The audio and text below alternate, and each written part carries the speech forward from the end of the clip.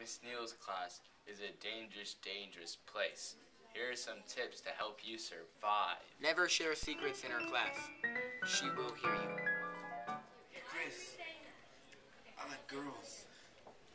I don't say that.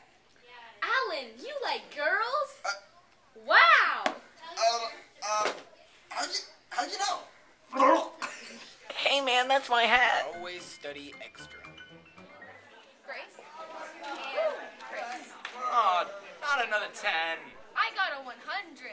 How? I studied!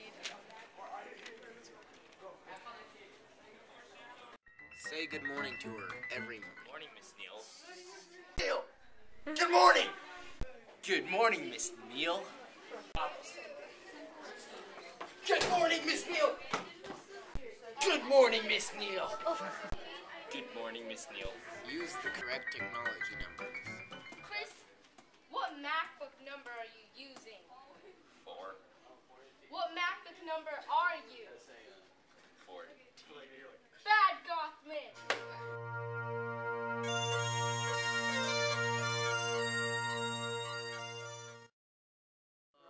Hi. Good luck, guys.